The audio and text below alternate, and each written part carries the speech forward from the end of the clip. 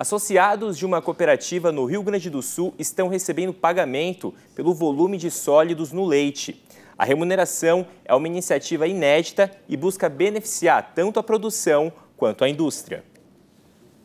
Há vários fatores que contam para fechar o preço pago pelo litro do leite ao produtor, como a sanidade e a quantidade entregue.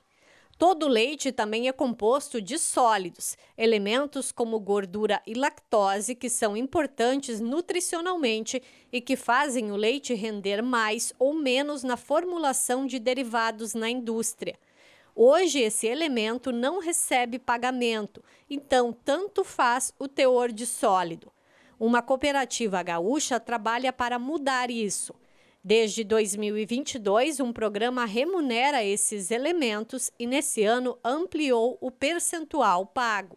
A partir de agora, o produtor ele vai receber 30% do leite que ele comercializar, baseado na quantidade de gordura e proteína que ele entregar, que ele comercializar, e os outros 70% fluido.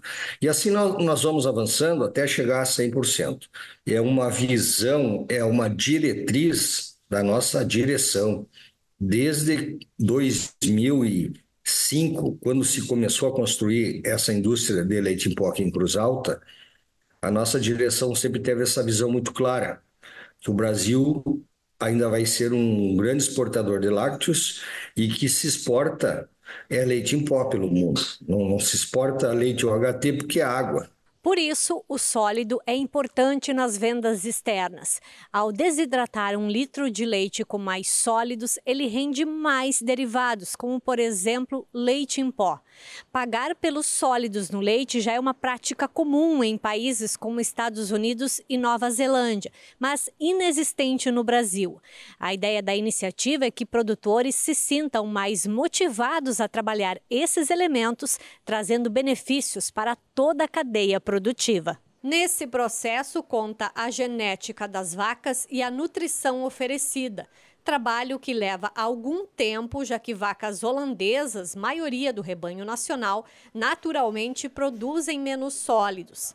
Com o incentivo, os associados conseguiram valorizar esse fator. Já estávamos já é, bem organizados a respeito da nutrição, que é um fundamento muito especial para o rebanho de leite. E a partir daí foi seguido alguns critérios e mantivemos essa nossa qualidade de gordura aí em média acima, acima de 4. A ideia é expandir o programa e motivar outras cooperativas a também reconhecerem esse fator.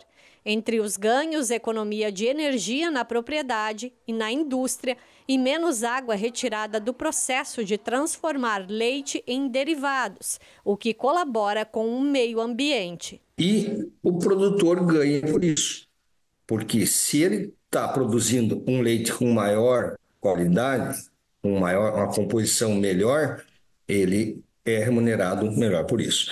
Então, hoje nós temos produtores é, sendo remunerados numa faixa aí de 20, 25 centavos a mais do que um produtor tradicional. 15 centavos, 12, 10 centavos é bem normal.